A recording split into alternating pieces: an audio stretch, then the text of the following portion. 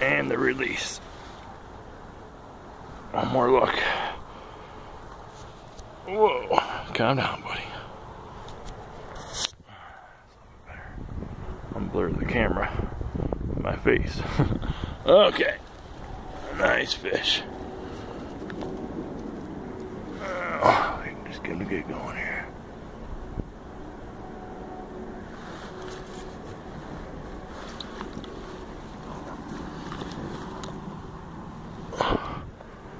Come on, buddy.